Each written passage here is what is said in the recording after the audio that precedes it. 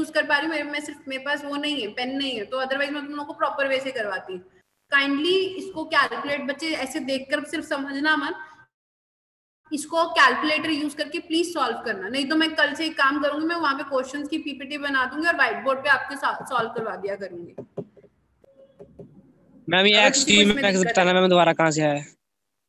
क्या बच्चा? X u max yes ma'am बच्चे हम लोगों ने इसका फॉर्मूला डिराइव किया था। डेरिवेशन पूछ रहा है क्या?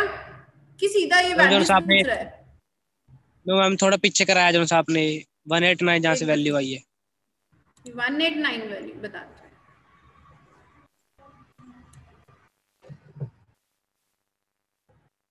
ये 189 की वैल्यू पूछ रहा है कहाँ से आ रही है? कि सिर्फ़ एक्स यू मैक्स ये कहाँ से आया है? Hello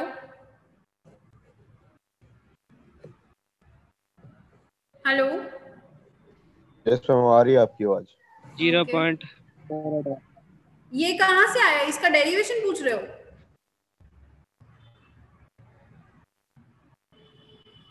yes ma'am. डेरिवेशन पूछ रहे हो? मैं कर देती हूँ repeat wait yes ma'am. Network cut गया था पूछ रहे कोई बात नहीं बच्चे बता देते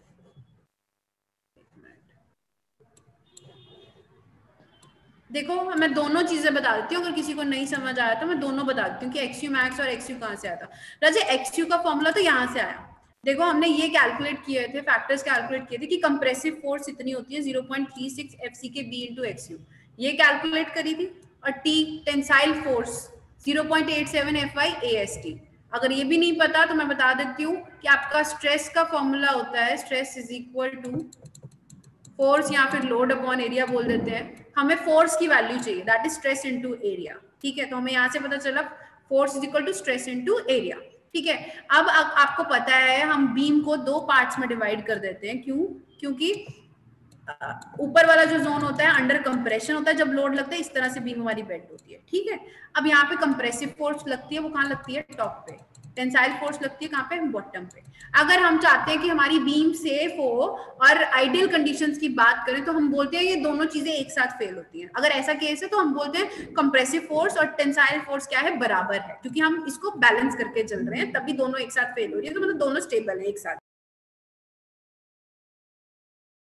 कंप्रेसिव फोर्स के लिए हम लोगों ने एवरेज स्ट्रेस की वैल्यू स्ट्रेस पैरामीटर से कैलकुलेट करी थी, जो कि मैंने आपको बोला था कि जो ये कर्व बनता है स्ट्रेस ब्लॉक बनता है, आधा रेक्टेंगल होता है, आधा पैराबॉलिक होता है। तो हमने एरिया की फॉर्म में फैक्टर कैलकुलेट किया था कि न्यूट्रल एक्सिस के यहाँ पे एवरेज स्ट्रेस इस पूरे जोन में हमारा कितना लग रहा था? फैक्टर आया था 0.36 एफसी के इनटू मैंने कर दिया था, ये इसकी बीम की वेट और ये होगी न्यूट्रल एक्सिस क्यों? क्योंकि stress is force is equal to stress into area तो एवरेज स्ट्रेस कंप्रेसिव जोन में 0.36 एक्ट करता है एरिया क्या हो गया? B into x u tensile force की बात करें तो टेंसाइल फोर्स सिर्फ़ और सिर्फ़ स्टील बेयर करता है हमने एजम्पन में किया था, ठीक है? और मैंने बताया था कि हम स्टील में एक्चुअली जो इसकी यील्ड स्ट्रेंथ होती है दैट इज़ एफ़ वाई लेकिन हम पार्शियल सेफ्टी फैक्टर 1.15 से डिवाइड करते हैं तो हमारे पास वैल्यू आ जाती है 0.87 of f y area of steel यहाँ से क्योंकि टेंसाइल फोर्स स्टील ही बेयर कर रहे हैं। अब इन दोनों फोर्सेस को हमने इक्वेट कर दिया। क्यों? क्योंकि हम चाहते हमें पता है कि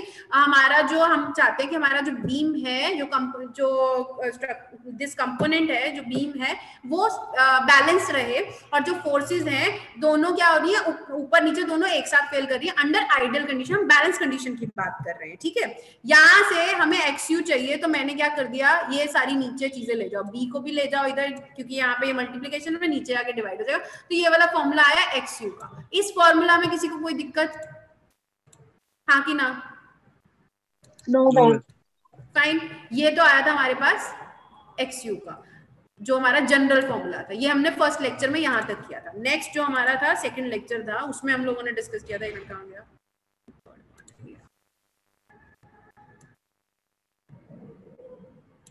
यहाँ पे हमने निकाली थी डेप्थ स्टैंडर्ड डेप्थ के फॉर्मूला निकाले थे यहाँ पे। यहाँ पे क्या किया था रजे? स्ट्रेन कर्व पिक करी थी, मैंने बोला था कि ये वाला एंगल इस एंगल के बराबर है। यहाँ पे ये 90 डिग्री है, इधर ये 90 डिग्री है। अगर दो एंगल बराबर हैं तो तीसरा एंगल भी बराबर होता है ट्राइंगल प्रॉपर्टी ठीक है? तो जब ये ट्राइंगल्स आपस में सिमिलर है तो हमने क्या पिक कर लिया था यहाँ पे? स्ट्रेन रेशियोज पिक कर ली थी ठीक है?